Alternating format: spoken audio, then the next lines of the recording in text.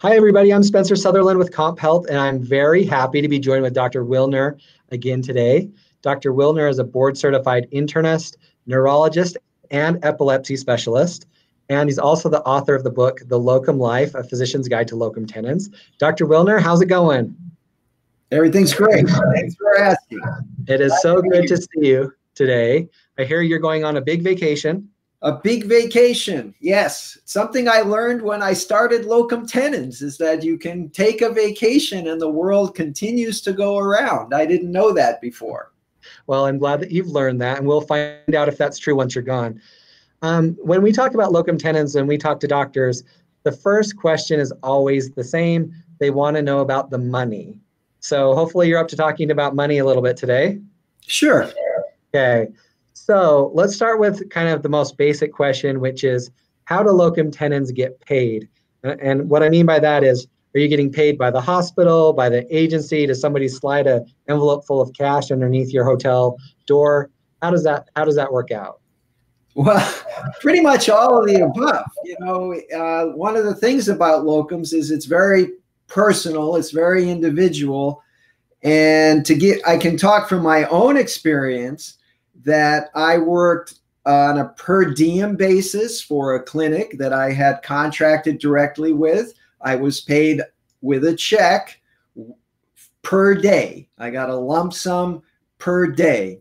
I also worked for the Mayo Clinic in uh, Phoenix, where I contracted directly with them and I was paid as an employee with a W 2.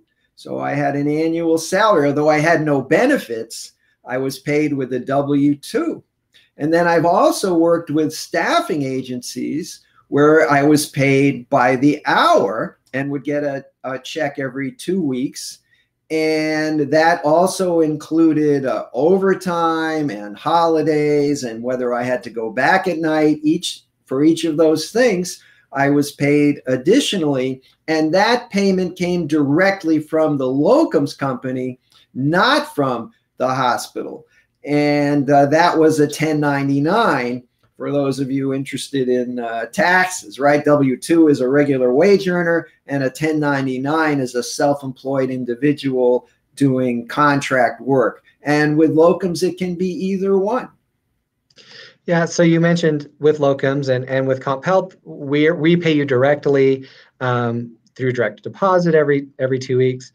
Um, the question for for you is when when you're negotiating that rate with the agency how do you how do you address things that might affect pay like call or overtime or weekends? Is that something that you negotiate before you go into that assignment? Oh absolutely. Everything has to be negotiated before you start. And one of the nice things about being a locum tenens physician is that you're in demand. Somebody wants you and so that does give you a little bit of leverage when you're negotiating. Of course, you're not the only locum tenens physician in the world. So if you negotiate too hard, the uh, client or the staffing agency may go with, with somebody else. So you don't have uh, infinite leverage. But I have had one situation where the hot there was a certain hourly rate and you can kind of figure out what you what you're worth. You know, you can go on to uh, the internet and go to Medscape or MedPage today and see what a I'm a neurologist. What's a neurologist's average salary? And then uh, kind of add to that what the benefits would be and come up with a number and then figure out how many hours there are in a year and figure out you know what is a reasonable hourly wage and then look at what they're offering and see if that number makes sense there's certainly no harm in saying you know i'd like another $30 per hour when i'm on call or something like that and i've done that and it, then it just depends on the client. My experience has been is that the agencies would like you to earn as much as possible in general. And uh, so i've had good cooperation with that. And the one time i did do that i had success. So i have uh, a good experience with that. But yeah everything is negotiable. And the other thing i liked about locums is that uh, holidays. I always kind of resented you know working on christmas day new year's day because as a physician in private practice, you know, a day's a day, doesn't matter. But when locums, it's more like you're kind of a regular employee where you get overtime, you know, time and a half. And uh, so I, I look forward to working on holidays because all the days of the year are pretty much the same to me. So I'd rather work on weekends and Sundays and July 4th and all of that and get, get paid extra, often for working less. You know, usually the hospital's a little slower on the, not always, but usually a little bit slower. And uh, you actually get paid more. So one way to make more money in locums is to is to go for the holidays. Yeah. So you mentioned independent contractor. And as a result of that, when you're working locums, you've got to manage your own money. Is there anything that you um, needed to adjust in your lifestyle to say, okay, um, I need to do things differently because I might not be getting getting paid as much on this assignment as I did last month, or this next assignment may pay more than the last one. How do you kind of keep track of all of that and make sure that you're within your budget or, or what you're trying to accomplish? Right. Well, I think, I think for someone who's used to being an employee, that is a really important point because the wonderful thing about locums is the flexibility, but that also can be a downside because the client may cancel at the last minute. And that's happened to me and it's happened to other locums physicians that I know. And then that's allowed up, you know, up to 30 days before the day of the assignment, cancel with no penalty. Well, you may have budgeted, you know, your income for those next six months, and the next thing you know, there's nothing. So you got to scramble to get a new assignment. So obviously, I mean, what what most financial advisors would would recommend is that you have six months of living expenses sitting in the bank, so that uh, if all of a sudden you have no money, you're not going to default on your mortgage and the electric bill and uh, run out of cat food. So you do have to. I mean, I think that's the easiest thing to do is just make sure you have a a cash reserve, but also uh, to plan on ups and downs. And uh, in my book, for example, I remember I interviewed one woman who said that that was one of the difficult things about locums is that she didn't have a steady paycheck.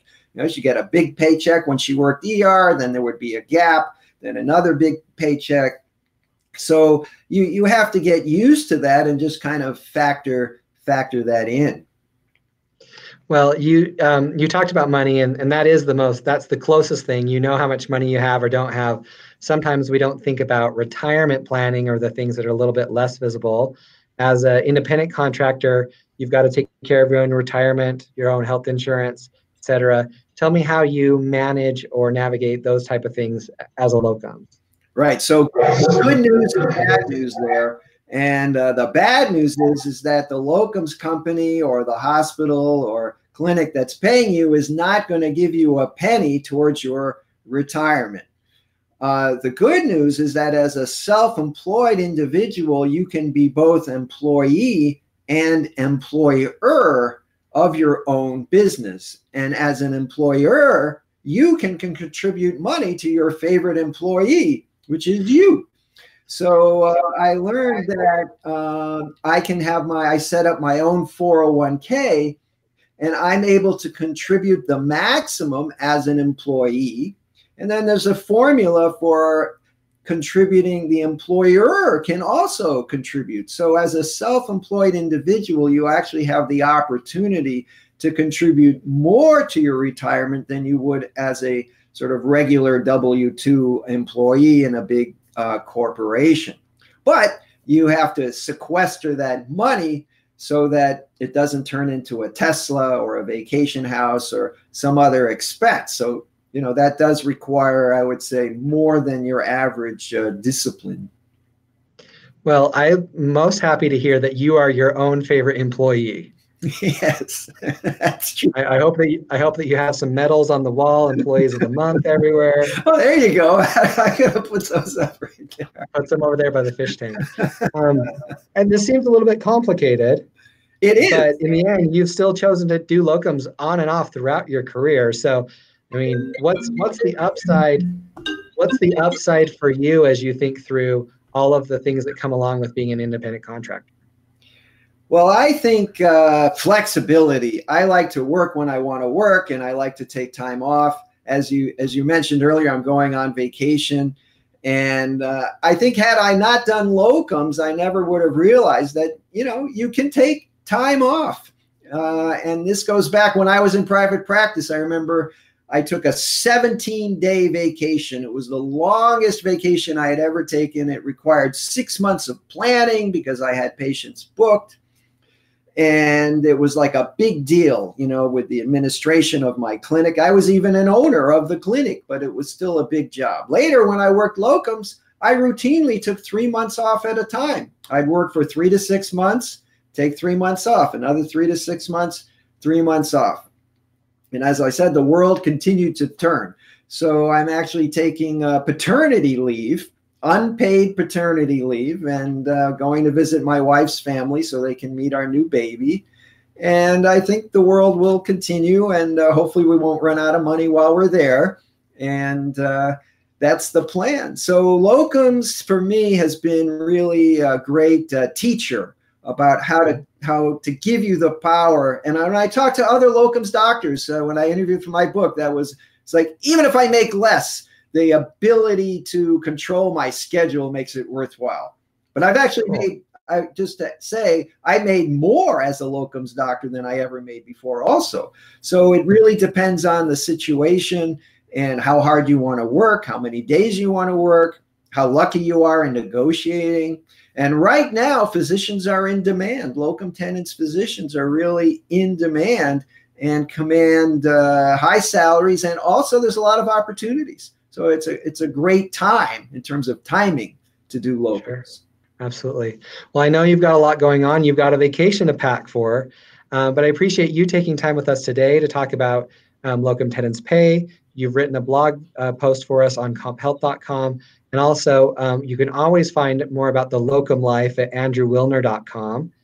And so we hope that you have a great trip.